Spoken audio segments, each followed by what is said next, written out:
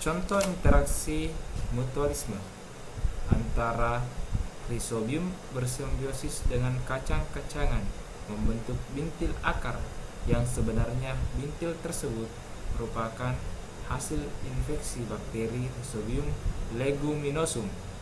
Rhizobium yang tumbuh dalam bintil akar leguminosae mengambil nitrogen langsung dari udara dengan aktivitas bersama sel tanaman dan bakteri.